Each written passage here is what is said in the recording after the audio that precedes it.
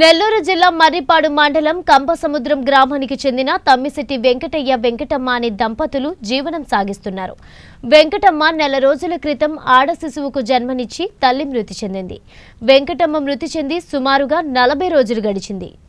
నెల రోజుల నుంచి వాళ్ళ కుటుంబం చాలా ఆర్థికంగా ఇబ్బందులు పడుతున్న సమయంలో మర్రిపాడు మండలంలో ఉన్నటువంటి మీడియా మిత్రులందరూ ఐక్య ఫౌండేషన్ దృష్టికి తీసుకురాగా ఐక్య ఫౌండేషన్ ప్రతినిధులు ఐక్య ఫౌండేషన్ మరియు సహృదయ ఫౌండేషన్ ఆధ్వర్యంలో ఆ కుటుంబానికి ముప్పై వేల రూపాయల ఆర్థిక సహాయం బియ్యం దుస్తులు అందజేశారు.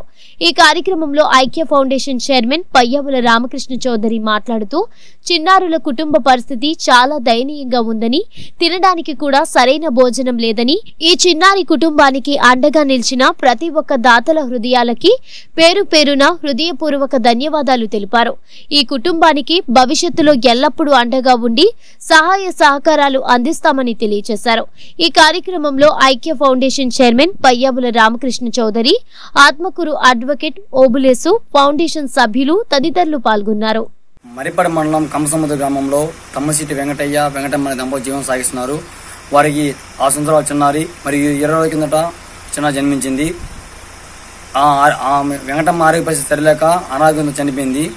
ఈ విషయాన్ని అక్కడ వాళ్ళు మీడియా మీద తెలియజేయడంతో వాళ్ళ పరిస్థితి ఆలన పాలన లేక ఆపనాస్తం ఎదురుస్తుంటే మేము ఈ విషయాన్ని బాహ్య ప్రపంచంలో మేము తెలియజేయడంతో ఎవరైతే మనసు మనసును దాతతో ముందరకు వచ్చి ఆ కుటుంబాన్ని ఆదుకున్నారు ఎవరైతే దాత ఆదుకున్నారో ఆ వాళ్ళందరూ ధనం దాత సహక సహకారాలతో మేము ఈ ఐక్య ఫౌండేషన్ మరియు సహోదయ ఫౌండేషన్ ఆధ్వర్యంలో ఆ కుటుంబానికి ముప్పై వేల రూపాయలు ఆది అందజేశాము ఈ సహా సహకారాన్ని అందించినటువంటి ప్రతి ఒక్క హృదయాన్ని పేరు ధన్యత తెలియజేస్తాను.